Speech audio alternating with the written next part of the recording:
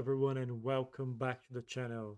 In today's video, we're gonna model three of the most used depreciation methods in Excel. But before we get started, make sure you subscribe to the channel and give a thumbs up if you learned anything from today's video. Let's go. So this is the Excel file we're gonna use today. It is divided in two sections, the input sections and the calculation sections. And in the calculation sections, we have the three methods we're going to learn today.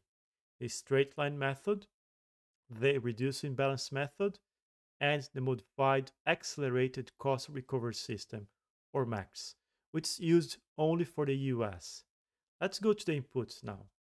In the input sections, the first input we have is the asset lifetime, which is how many years we have to depreciate the asset. In this particular case here, we're going to use 20 years. This input is only necessary for the straight line and reducing balance method. The second input is the reducing balance multiplier or multiple. I'm going to explain what this is once we go through the calculations for the reducing balance method. Don't worry for now. Next, we have the asset value, which is the cost or the capex of the asset or machine we have to depreciate. In this case here, I'm going to assume a value of $1 million. Then we have the last input, which is the residual value, which means what is the value of the asset once this lifetime has gone by.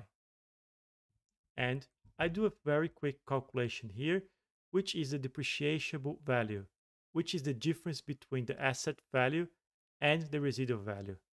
This is the value we're going to use in the depreciation calculation schedules. So let's go to the calculation sections and learn how to model it in Excel for each one of the methods. The first method we're going to see is a straight line depreciation method, which is the simplest one among the three.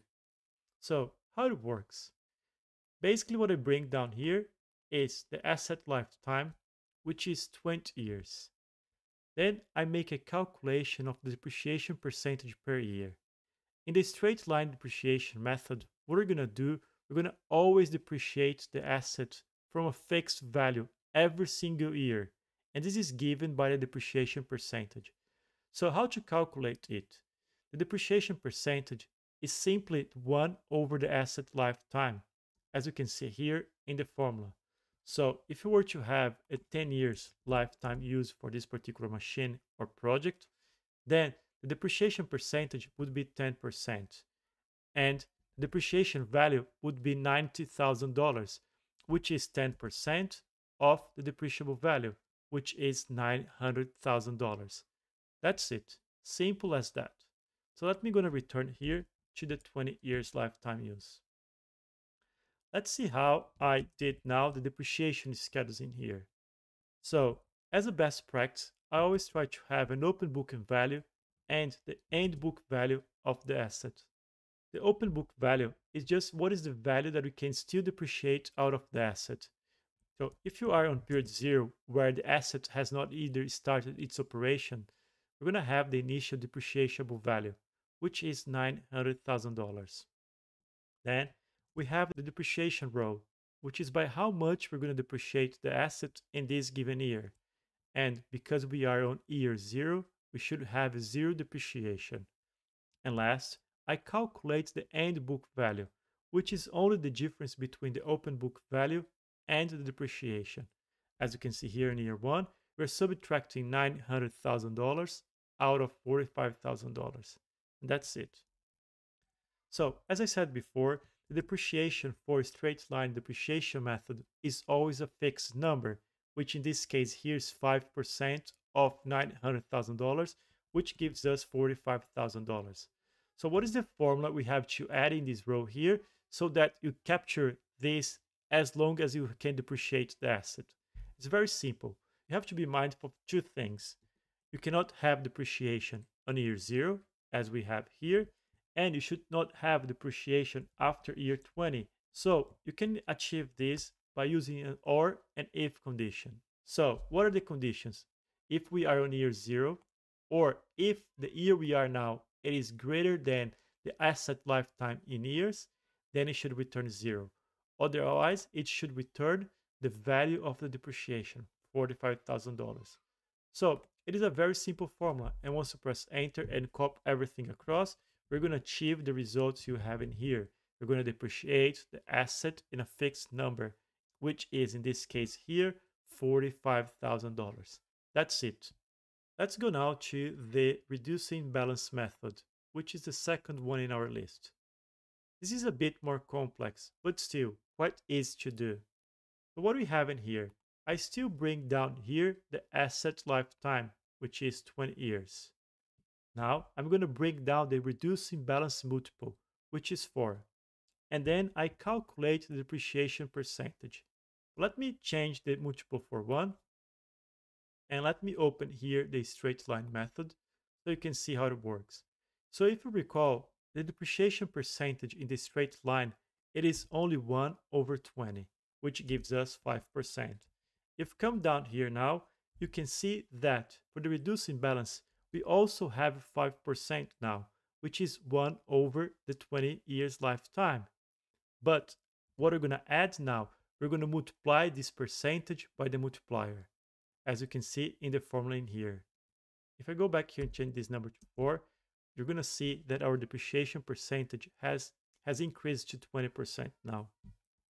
So this is by how much we're going to depreciate our asset every single year. There's one more difference between the straight line and the reducing balance. Now, instead of depreciating 20% out of the depreciable value, we're going to depreciate 20% out of the open booking value. And if you, I press F2 here and you follow along here, you can see that the value for each one of the years represents exactly 20% out of the open book value. So that's the difference. In the straight line, you always depreciate a percentage out of the depreciable value, while in the reducing balance method, you always depreciate the asset out of the open book value. One more thing to notice is, let me just grab now the graph and you can see how the depreciation changes over time in the graph in here.